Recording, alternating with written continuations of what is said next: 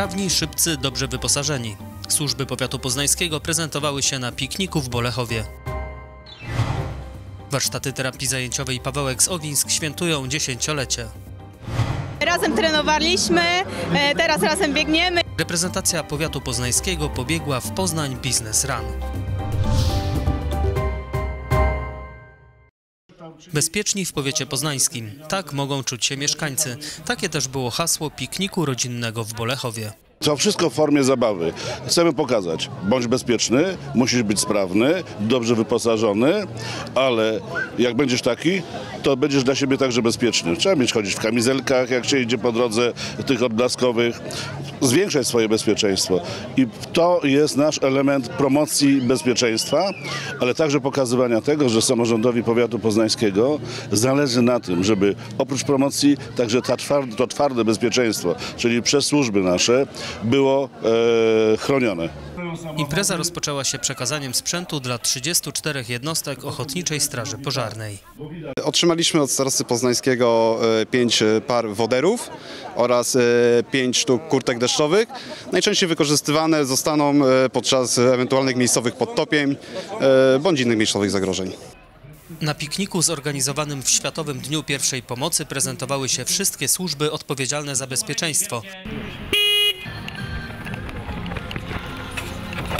Strażacy pokazywali swą sprawność w dwuboju pożarniczym na specjalnym torze. Przygotowali też stoisko rozrywkowo-informacyjne. Zbliża się okres e, grzewczy, także nasi koledzy z Wydziału Prewencji e, podają informacje, e, jak się ustrzec przed występowaniem pożarów, tak? czyli zamontowanie czujki czadowej czy też dymowej może uchronić nas przed tym niebezpieczeństwem. Ciekawie było też u policjantów. Można tu było obejrzeć wykorzystywane w służbie maszyny, samochód i motocykl oraz zwierzęta, konie i psy. Dzieci najmłodsi mogą skorzystać z kolorowanek na temat bezpieczeństwa w ruchu drogowym. Dorosłych zapraszamy do przetestowania, jak się nasz organizm zachowuje po alkoholu, po, narko, e, po narkotykach, przez alkogogle, narkogogle. To przeszkód mamy przygotowany. Także zapraszamy na akcję znakowania rowerów w ramach programu Poznański Rower Bezpieczny Rower. Ratownicy z pogotowia uczyli pierwszej pomocy, masażu serca i sztucznego oddychania. Najgorszy masaż jest lepszy niż żaden masaż. To są te rzeczy, które należy ciągle mówić i należy powtarzać, żeby ludzie nie bali się, żeby przemogli w sobie tą niechęć do udzielania pierwszej pomocy czy obawy, że mogą zrobić coś źle.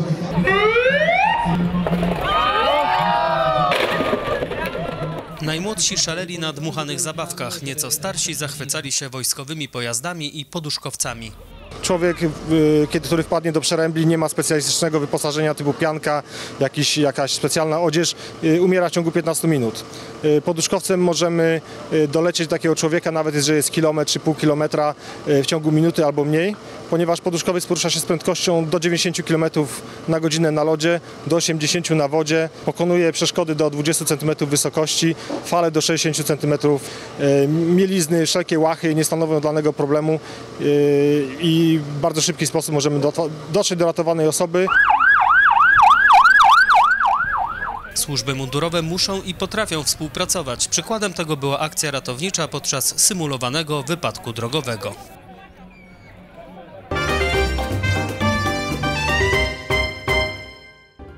Kolejne zabytki doczekają się remontu dzięki dotacji z powiatu poznańskiego. Jest wśród nich plebania parafii pod wezwaniem świętego Tymoteusza w Białężynie koło murowanej Gośliny. Zabytkowy kościół został odnowiony kilka lat temu. Teraz przyszedł czas na budynek probostwa. Dom ma ponad 100 lat i od ponad pół wieku nie był remontowany. W pierwszej kolejności konieczna jest wymiana instalacji elektrycznej i na to właśnie zostanie przeznaczona powiatowa dotacja.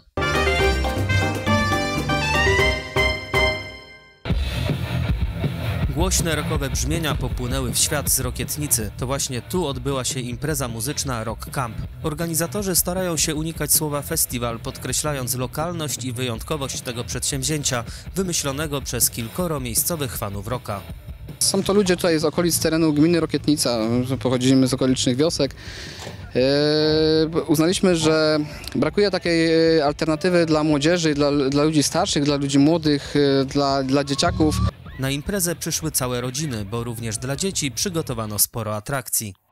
Rodziny przychodzą, e, maluchy mogą się bawić, i e, są tutaj właśnie różne zabawy, mamy tor przeszkód. Patronat nad Rock Campem w Rokietnicy objął starosta poznański.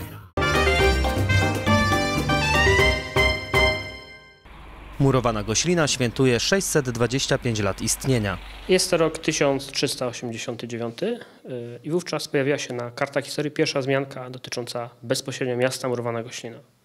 Obchody rocznicowe rozpoczęły się już w marcu i potrwają do końca roku. To obok imprez masowych, konkursy dla mieszkańców, wystawy i publikacje.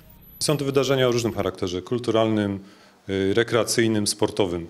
Y, Przykładem takiego, takich wydarzeń jest na przykład bieg y, 600 jubileuszowy 625. To są też y, właśnie zajęcia o charakterze edukacyjnym, spacery po, y, po mieście.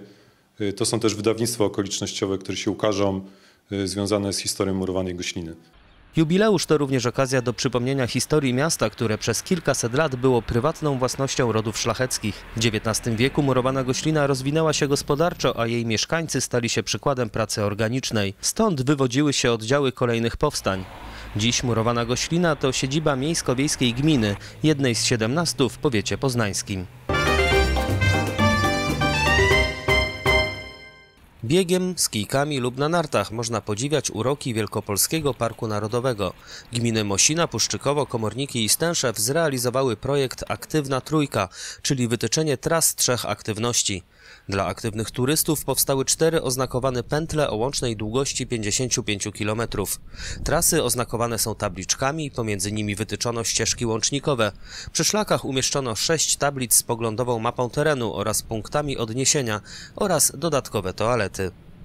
Trasy te zostały wyznaczone y, we współpracy z Wielkopolskim Parkiem Narodowym z inicjatywy czterech gmin Puszczykowa, Mosiny, Stęszewa oraz Komornik. Y, Są one przeznaczone dla biegaczy, y, ludzi, którzy uprawiają nordic walking oraz y, biegaczy narciarskich. Jeżeli pogoda dopisze i będzie wystarczająca ilość śniegu, wówczas trasy dla biegaczy również zostaną wyznaczone. Trasy mają długość od 7,5 do 22 km.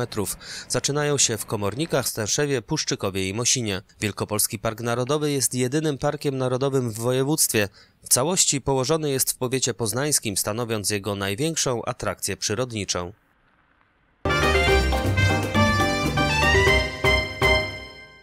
Warsztaty terapii zajęciowej Pawełek w Owińskach świętują dziesięciolecie i od 10 lat zapraszają gości na piknik integracyjny w swoich ogrodach. Przyjechały warsztaty terapii zajęciowej z terenu powiatu poznańskiego, zaprzyjaźnione z nami stowarzyszenia i instytucje. Są to osoby niepełnosprawne intelektualnie oraz nasi przyjaciele, opiekunowie, rodzice mm, pełni sprawni ruchowo. Są to spotkania, które służą integracji i po prostu wspólnej zabawie. Chcemy się razem śmiać i cieszyć z tego, co mamy. Tematem pikniku był świat bajek, dlatego nie mogło na nim zabraknąć bajkowych postaci, przedstawień, recytacji i sportowych konkurencji, takich jak slalom Baby Jagi, koszyczek czerwonego kapturka czy król lew. Są to bajki e, i przeróżne bajki, tak jak również przeróżne konkurencje, które w tym roku zorganizowaliśmy, są e, w dużej mierze przystosowane dla potrzeb osób niepełnosprawnych. E, Daje im to e, kontakt z rówieśnikami, a także kontakt z innymi osobami niepełnosprawnymi. Warsztaty terapii zajęciowej w Owińskach mają 35 podopiecznych. Ludzie przychodzą na zajęcia, zajmują się nauką życia, gotowania, zajęcia praktyczne typu malowanie, plastyczne, y, robienie świec, przygotowujące również do y, pracy przyszłej zawodowej. Takich placówek jest w powiecie poznańskim kilkadziesiąt. Wszystkie mogą liczyć na wsparcie finansowe. Te środki, jakie przeznaczamy na funkcjonowanie warsztatów terapii zajęciowej są znaczące, a dodam, że nawet y, przy wsparciu Rady Powiatu te środki y, w tym roku zostały zwiększone. Widząc y, potrzeby w tych środowiskach gminnych, staramy się y, pozyskiwać środki, żeby finansować również nowe warsztaty i takie koncepcje, takie plany na ten i przyszły rok mamy. Jubileusz był okazją do podsumowań i podziękowań. Jak na urodziny przystało, goście zostali poczęstowani wielkim tortem.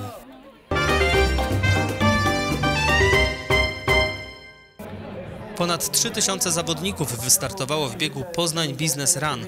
Pięcioosobowe sztafety biegły w szczytnym celu. Pomocy osobom potrzebującym protez. Chcemy realizować ideę, że wielu ludzi, mając z tego mnóstwo radości, e, jeszcze podnosząc własną kondycję, może pomagać też innym, którzy dzięki temu będą mogli no, żyć lepiej, poruszać się lepiej. Piotr Morawiec stracił nogi pod kołami pociągu. Pieniądze na pewno przydadzą się na zakup e, nowych protez już takich e, ze stawami kolanowymi, dynamiczną stopą i ogólnie jest to taki koszt, że samemu nie dałbym nigdy rady uzbierać tych pieniędzy. Jakub Talarczyk ma protezy, ale potrzebuje nowych. To jest zadowolenie, to jest wielka radość, to jest zaskoczenie. E, Wszystko super, wszystko naj. E, Bardzo dziękuję. Trzecim beneficjentem poznańskiego biegu był 11-letni Michał Bronisz. W tłumie biegaczy nie mogło zabraknąć sztafety powiatu poznańskiego. Zarzucone hasło po prostu i wszyscy chętni, pierwsi, którzy byli w pierwszej kolejności, e, zgłosili się po prostu. To jest fajna forma integracji w, e, w naszym starostwie pracowników. E, Razem trenowaliśmy, teraz razem biegniemy i świetnie się bawimy. Przygotowywałyśmy się od momentu zapisania do biegu. Przygotowałyśmy się na terenie Malty Poznań, biegaliśmy. Także indywidualnie każdy na swój rachunek biegał. Każdy zawodnik przebiegł prawie 4 km ulicami Poznania. Wynik na mecie nie był ważny. Najważniejszy wynik to 207 tysięcy złotych zebranych dla Piotra, Jakuba i Miłosza.